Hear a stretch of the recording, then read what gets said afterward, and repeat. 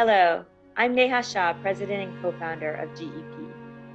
Did you know that today some 160 million children are being used as child labor globally?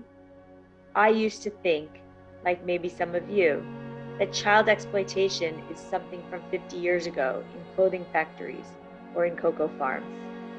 The reality is, children are still being used today to produce many of our finished goods and products. They're being forced to work in fields, in factories, and in mines that power our global supply chains. Kids as young as nine years old are working in cobalt mines for the batteries that power our daily devices. It is modern slavery.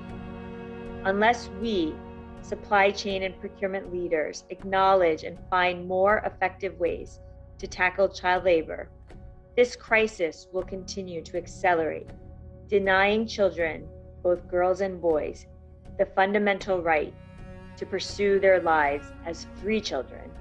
I will join Nobel Peace Laureate and acclaimed child rights advocate Kailash Satyarthi and Thomas Udesen, Bayer CPO and co founder of the Sustainable Procurement Pledge, to discuss practical ways we can tackle this crisis.